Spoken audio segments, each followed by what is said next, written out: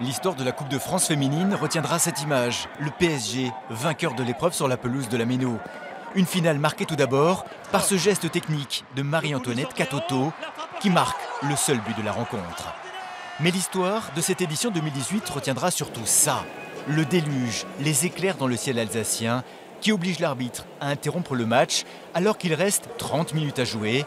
Les équipes regagnent les vestiaires et débute alors la guerre des nerfs qui va durer plusieurs dizaines de minutes pour reprendre ou pas cette rencontre. Là, c'est du ressort de l'arbitre sur le plan du, du terrain et c'est ce que vient de nous annoncer le, le responsable de la fédération. Donc, euh, voilà. Moi, ça m'arrange pas. Il a plu pendant je ne sais combien de temps, il y a des éclairs. Le terrain, quand elle court, il y a de l'eau partout. Les joueurs ne sortent pas. Les dirigeants lyonnais ne veulent pas que ce match continue sous les trompes d'eau afin qu'il soit rejoué aussi à une date ultérieure en recommençant à 0-0. Mais finalement, un peu avant minuit, le match se termine par la victoire de Paris. Il faut féliciter mes joueuses qui ont accepté de, de jouer dans ces conditions-là, qui sont pour moi euh, inacceptables. Je vois pas la différence entre maintenant quand on a repris et, et au moment où on a arrêté. Nous, on a voulu préserver tout le monde. On nous a imposé de jouer, voilà. C'est des larmes de bonheur, je suis super fière de, de mon équipe, je leur ai déjà dit cette semaine, mais j'ai un groupe franchement, c'est c'est des guerrières.